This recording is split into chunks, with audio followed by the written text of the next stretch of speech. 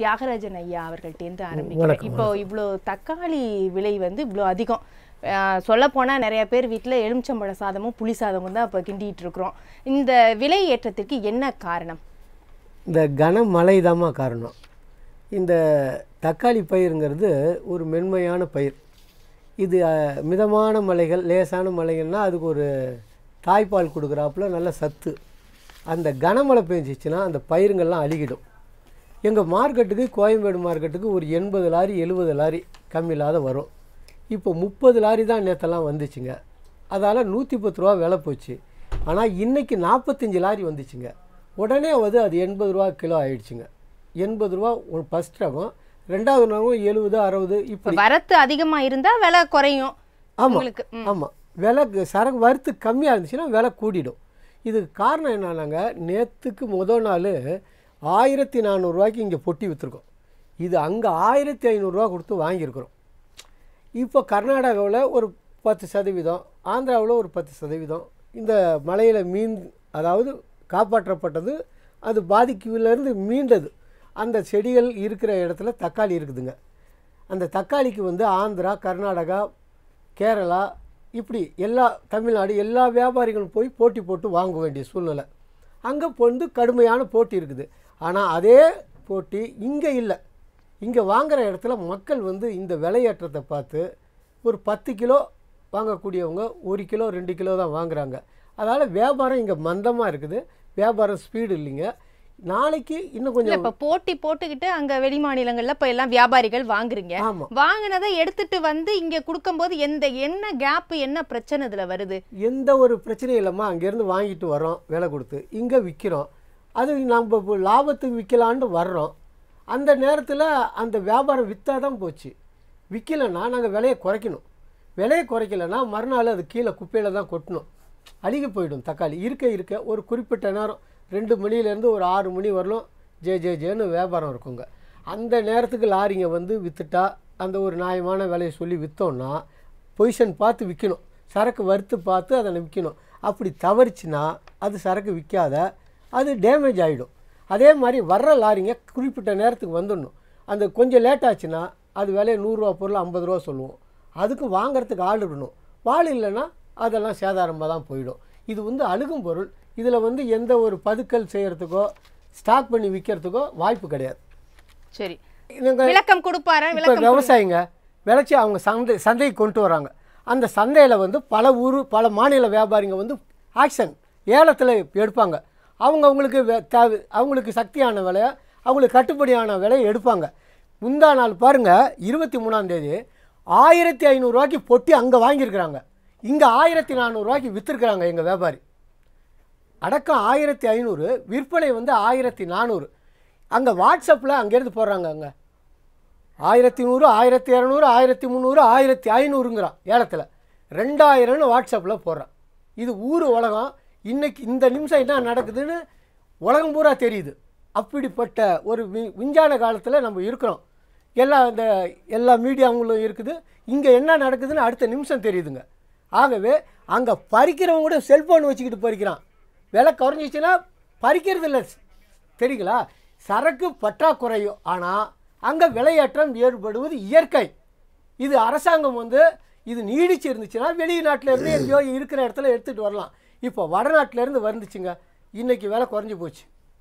வர்றது இன்னும் ஒரு ஒரு நாளைக்கு ரெண்டு நாளைக்கு வரும். அதுக்கு அடுத்து வராது இப்ப அவர் சொல்ற மாதிரி கர்நாடகா ஹைதராபாத்ல எல்லாம் விலை எவ்வளவு? ஒரு கிலோ தக்காளியோட விலை எவ்வளவு? குறைஞ்சிருக்கா? அதாவதுமா இதே விலையை? இதே இதே முடிச்சோன்னு நீங்க இந்த விலையை அனுசரித்து தான் அங்கே இருக்கோம். நாங்கள் அங்கேருந்து வாடகை கொடுத்து கூலி கொடுத்து எல்லாம் சுத்தம் பண்ணி கொண்டு வந்து லாபத்துக்கு விற்க பார்ப்போம். அந்த விற்க அது முடியலன்னா உடனே விலையை குறைச்சிடுவோம். ஃபஸ்ட்டு பத்து ரூபா நஷ்டமானாலும் விற்றுருவோம் அப்போ கொஞ்சம் தவறுனோம்னா இன்னும் அது இருபது ரூபா நஷ்டமாக போயிடும். தெரியுதுங்களா? எங்களுக்குள்ளார ஒரு வியாபாரிக்கு வியாபாரி போட்டி இருக்கும். இப்போ நீங்கள் கஸ்டமர் வாடகை என்கிட்ட வாங்குறீங்க. நான் நூறுரூவா சொல்கிறேன் இவர் பார்ப்பார் தொண்ணூறுரூவா இப்படி எங்களுக்குள்ளாரியே வந்து வியாபாரத்தில் போட்டி இருக்கும். நான் ஏமாந்தா இவர் வியாபாரம் பண்ணிவிடுவார் இவர் ஏமாந்தா நான் வியாபாரம் பண்ணிவிடுவேன் இதுதான் நடைமுறையில் இருக்கிறதுங்க. இதில் வந்துங்க பெரிய லாபம்லாம் பெரிய இதில் இன்றைக்கி ஒரு நூறு வியாபாரி இருக்காங்கன்னா அதில் ஒரு அஞ்சு வியாபாரி வசதியாக வாய்ப்பாக இருப்பாங்க. இது இயற்கை உலகம் பூரா உலகம் பூரா குத்துச்சட்டையை பயில்றான். கப்பு எடுக்கிறது கோல்டு மெடல் எடுக்கிறது ஒருத்தன் தான். லட்சக்கணக்கில் கோடிக்கணக்கில் ட்ரைனிங் எடுக்கிறாங்க. அதே போல் வியாபாரின்னா ஒரு நூறு வியாபாரி இருக்கிற இடத்துல அஞ்சு வியாபாரி வசதி படைச்சிடுவாங்க இப்போ ஐம்பது வியாபாரி நடுத்தரமாக இருப்பாங்க. ஐம்பது வியாபாரி அன்னாட காட்சியாக இருப்பாங்க. இதுதான் இயற்கையானது. அதாவதுங்க சேலஞ்ச் பண்ணுறேங்க இன்றைக்கி இவங்க உலகத்தோர அரசாங்கத்துக்கிட்ட இருக்குது. இவங்க கேட்கட்டும் இந்த தமிழ்நா இந்த இந்தியாவில் எங்கெங்கே தக்காளி இருக்குது என்ன விலையாக இருக்குதுன்னு அடுத்த நிமிஷம் கேட்கட்டும் இங்கே கோயம்பேடு தாங்க இருக்கிறதுலே கம்மியாக விற்கிற இடம். தெரியுதுங்களா? நாங்கள் வந்து முன்பணம் கொடுப்போம் விவசாயிக்கு.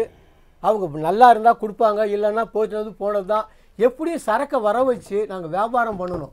எங்களுக்கு எங்கள் பொண்டாட்டி பிள்ளைங்களை காப்பாது சரி அப்பதான் இங்க வந்து தான் குறைந்த விலையே இருக்குங்கிறீங்க. இருக்குது. சரி. இந்த மாதிரி விலை ஏற்றத்தை தவிர்த்து ஒரே சீரா விலை நிர்ணயம் பண்ணணும். அதாவது ரொம்ப ஓவரா அதிகமா போக வேண்டாம். அந்த மாதிரி ஒரு சீரா வைத்துக் கொள்வதற்கு என்னென்ன வழிகள் எதிர்பார்க்கறீங்க? அதாவதுமா, அதுக்கு முன்ன ஒரு ஒரு நிமிஷம் பேசிடுறேன். ஒரு காலத்தில் வந்துமா கொத்தவால் சாவடி. ஒரு நாற்பது ஆண்டுகள் ஐம்பது ஆண்டுகளுக்கு முன்னே இந்த வடார்காடு மாவட்டம் இந்த ஜோலார்பேட்டை திருப்பத்தூர் வாணியம்பாடி இந்த ஏரியாங்கள்லேருந்து தான் இந்த தக்காளி காய்கறிகள்லாம் வரும். அடுத்ததாக அந்த தக்காளி மதுரை மாவட்டம் திண்டுக்கல் இந்த ஏரியா வத்தலகுண்டு பெரியகுளம் தேனி இந்த மாதிரி வரும். இது ஒரு மூணு மாதம் இருக்கும். இது மூணு தர்ம சைடு தர்மபுரி ஒரு மூணு மாதம் இதில் வந்து வெயில் காலம் வந்துச்சுன்னா மதனப்பள்ளின்னு ஒரு ஆந்திரா. அதே மழை காலம் வந்துருச்சுன்னா ஆதோனின்னு ஒரு ஏரியா. இங்கேருந்து தான் வரும். ஆனால் நாளடைவில் இந்த புதிய விரைகளை கண்டுபிடிச்சு முந்நூற்றி அறுபத்தஞ்சி நாளும் விளைச்சல் வர்றாப்புல ஒரு டெக்னிக்கலை விவசாயிகளுக்கு கொடுத்து ஒரே இடத்துல ஆந்திராவும் கர்நாடகாவும் தான் முந்நூற்றி அறுபத்தஞ்சி நாளும் வந்துக்கிட்டு இருக்குதுங்க இப்போது தமிழ்நாட்டில் வந்து இந்த தக்காளி பயிரிட்டு அவங்க லாபம் கிடைக்காத நஷ்டப்பட்டு நஷ்டப்பட்டு இந்த தொழில் இந்த விவசாயத்தையே விட்டுட்டாங்க.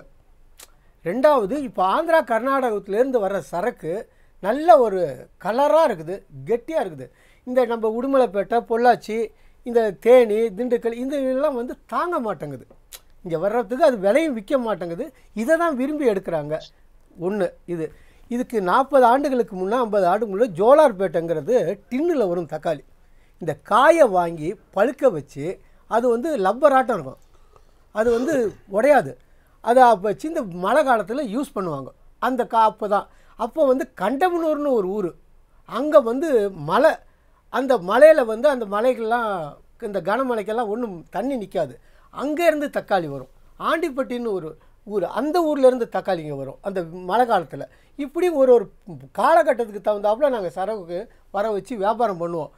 இப்போ வந்துங்க அரசாங்கம் என்ன செய்யணுன்னாங்க இந்த விலை குறைவாக இருக்கிற நேரத்தில் இந்த காய்வெட்டு சரக்குங்களை எடுத்து இந்த ஜோலார்பேட்டை சைடு அந்த காலத்தில் டில்லிக்கு இங்கேருந்து போவோம் ஜோலார்பேட்டையிலுக்கு. இந்த கல்கட்டாவுக்கு இங்கேருந்து போவோம். இந்த எல்லாம் இந்த காய் வெட்டா வச்சு நல்ல செங்காயாக அனுப்புவாங்க. இங்கேருந்து ஏற்றுமதி. ஆமாம் ஏற்றுமதி போய்கிட்டு இருந்துச்சு. அப்படி வந்து அது போகிற நேரத்துக்கு அங்கே செங்காய நல்ல கலர் வந்துடும் இப்போ வடநாட்டிலேருந்து வருது பாருங்க. இன்னைக்கு வந்து ஒரு இந்த அட்டைப்பொட்டியில் வருது. ஆனால் அந்த அட்டைப்பொட்டியில் வர்றதுலேயும் சேதாரம் இல்லை. காரணம் என்னன்னா அந்த பக்குவமாக அந்த காயை பறித்து செங்காயாக அனுப்புகிறாங்க அது ரெண்டு நாளில் வர்றப்போ இன்னும் கொஞ்சம் கொஞ்சம் கலர் வந்துடுது நல்லா ஃபுல்லாக விற்கிற அன்றைக்கி மூணு நாள் ஆச்சுன்னா ஃபுல் கலர் வந்துடுது இந்த மாதிரி அந்த காய் கட்டிங்களை வாங்கி ஸ்டாக் பண்ணணும். ரெண்டாவதுங்க இந்த விலை குறைஞ்சிடுச்சு இல்லைங்கன்னா அப்போ விவசாயி பாதிக்கப்படுறோம் ஒரு காலத்தில் ஆந்திராவில் முப்பது ரூபா கொடுத்து ஒரு பொட்டியை வாங்குவாங்க. அந்த அரசாங்கம். எங்கள்கிட்ட வந்து இருபது ரூபாய்க்கு விற்று நாங்கள் விற்போம் அனுப்புவாங்க. இது ஒரு பதினஞ்சு இருபது வருஷத்துக்கு முன்னே ஆந்திராவில் அந்த விவசாயம் காப்பாற்றுறதுக்கோசரம் அந்த அரசாங்கம் நடவடிக்கை எடுத்தாங்க அப்படி. இது போல் இந்த விவசாயம் விலை ரொம்ப கம்மியாக இருக்குது பாருங்கள் அந்த நேரத்தில் அந்த காய் வெட்டுங்களை எடுத்து அதை பதப்படுத்தி அந்த டிமாண்ட் அப்போ அதை வெளியிடுறதுக்கு அது ஒரு இது அந்த நடவடிக்கைகள்லாம் அரசாங்கம் எடுத்தால் நல்லாயிருக்கும் ரெண்டாவதுங்க விவசாய காப்பாற்ற வேண்டியது முக்கிய பு- கடமை நம்மளுது. இன்றைக்கி தொண்ணூறு விவசாயி விவசாயம் பண்ண இடத்துல தொண்ணூறு விவசாயியோட பயிர் நாசமாக போச்சு இந்த மழையால் பத்து விவசாயி இருபது விவசாயிக்கிட்ட தான் அந்த சரக்கு இருக்குதுங்க. தெரியுதுங்களா? இந்த பாதிக்கப்பட்ட விவசாயி அடுத்த வட்டத்துக்கு வே இது விவசாயம் பண்ண முடியாது. அவங்களுக்கு வந்து உதவித் தொகையை கொடுத்து ஊக்கம் கொடுத்து அவங்களுக்கு அந்த நஷ்டத்துலேருந்து காப்பாற்றினா திரும்ப அவங்க பயிர் வச்சுவாங்க. அப்போ வந்து நம்மளுக்கு டிமாண்ட் ஏற்படாது. இதெல்லாம் நம்ம பார்க்கணும். ரெண்டாவதுங்க இன்னொரு குற்றச்சாட்டுக்கு நான் ஆணித்தரமாக பதில் சொல்கிறேன் ஆணித்தரமாக சவால் விட்டு சொல்கிறேன் இந்த இந்த நாற்பத்தஞ்சு ரூபா முப்பத்தஞ்சு ரூபா இருபத்தஞ்சு ரூபாங்கிறதெல்லாம் பொய் நூற்றுக்கு நூறு பொய். எங்கே என்ன விலை விற்கிதோ அந்த விலைக்கு அதை அனுசரித்து தான் நாங்கள் அங்கே விற்பாங்க விடுவாங்க. இல்லைன்னா விவசாயிங்க எடுத்துகிட்டு வர மாட்டாங்க. இதெல்லாம் பெரிய இங்கே விவசாயி வர்றாங்க அவங்க எதுக்கு நாங்கள் விலையை வச்சு விற்கிறோம் இதில் இட தரவரும் இல்லை முனி தோழர்கள் தடி தொ- தொ- தரகரும் இல்லை. இங்கே வர்றாங்க ஐயா உன் பொருள் நூறுரூவாய்க்கு கேட்குறாங்க கொடுக்கவா? அப்படின்னு கேட்டு தான் கொடுக்குறேன். ஐயா விற்க வித்துரு இந்த நேரம். விற்கலைன்னா பின்னாடி கம்மியாக விற்கும் அப்புறம் எங்கள் மேலே குறை சொல்லக்கூடாதுன்னுவோம். அப்படி சில பேர் கேட்டுக்குவாங்க. சில பேர் கேட்காதவங்கள நாங்களே விற்றுருவோம் ஏன்னா பின்னாடி ஐம்பது ரூபாய்க்கு விற்கும். அப்போ பாதிக்கப்பட போகிறது விவசாயி. இந்த விவசாயியை காப்பாற்ற வேண்டிய பொறுப்பு வியாபாரிக்கு இருக்குது. அதை நாங்கள் செஞ்சுக்கிட்டு இருக்கிறோம். ஒரு காலத்துலலாம் ஆறு மாதத்துக்கு முன்னே முன்பணம் கொடுப்போம். அவங்க விளையாது போச்சுன்னா போச்சு எங்கள் பணம். இப்படியெல்லாம் இருக்குதுங்க. வியாபாரிங்க மேலே குற்றச்சாட்டு சுமத்தது. அப்போ தான் அவங்க மேலே இதில் எவ்வளோதோ அன்னாட காட்சிங்க எவ்வளோதோ ஆயிரக்கணக்கில் லட்சக்கணக்கில் தமிழ்நாடு பூரா இருக்கிறாங்க கோடிக்கணக்கில் இருக்கிறாங்க. எல்லாத்தையும் ஒரே இதில் எடை போடக்கூடாதுங்க. இப்போ அரசியல்வாதி ஆகின அண்ணன் வந்திருக்கிறாரு. எல்லாருமே பெரிய பெரிய கோடீஸ்வரர்களாக இருக்காங்க கிடையாது. அதில் ஒரு சிலர் கோடீஸ்வரனாக இருக்கலாம் அவங்க நம்ம பார்ப்போம். அவங்க வந்து இந்த அரசியலில் தான் வச்சு சம்பாரிச்சிட்டாங்கன்னு நினைப்போம். அவங்க என்ன சொல்லுவாங்க? எங்கள் அப்பா பண்ண தொழில் இது எங்கள் தாத்தா பண்ண தொழில் இது இதிலேருந்து நான் சம்பாரிச்சேன்னு ஒழிய அரசியலில் வந்து நான் சம்பாதிக்கலைன்னுவாங்க. அது நான் எது ஒரு உதாரணத்துக்கு சொல்கிறேன் ஆனால் எங்கள் வியாபாரத்தில் எந்த ஒரு தில்லுமுள்ளும் இல்லைங்க. விவசாய காப்பாற்ற வேண்டிய கடமை எங்களுக்கு இருக்குது. விவசாய காப்பாற்றினா தான் நாங்கள் பிழைக்க முடியும். ரெண்டாவது வர்ற கஸ்டமர் அவங்களுக்கு நியாயமான விலையை கொடுத்தா தான் திரும்ப எங்கள் கிட்ட வருவாங்க.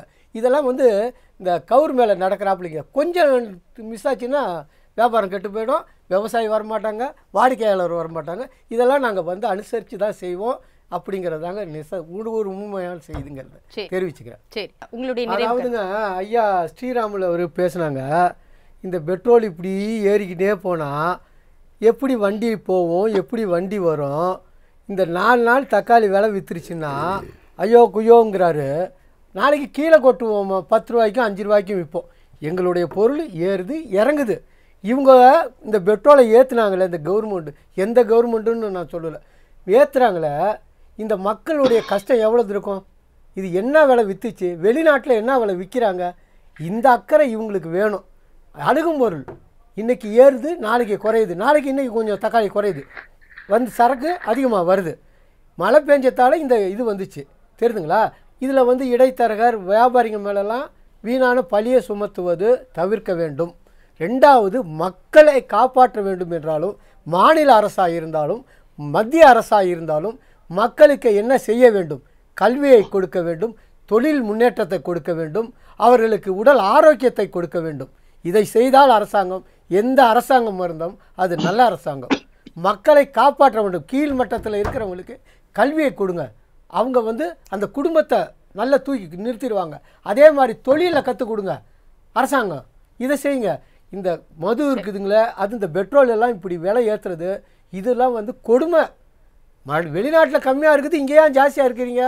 நீங்கள் மக்களை பற்றி மக்களை பற்றி பேசுகிறீங்கல்ல அவங்க கஷ்டத்தை தீர்க்கணும் இல்லைங்களா? இதெல்லாம் நீங்கள் தீர்க்கணும். இதெல்லாம் உங்கள் கவனத்துக்கு நான் கொண்டு வரேங்க.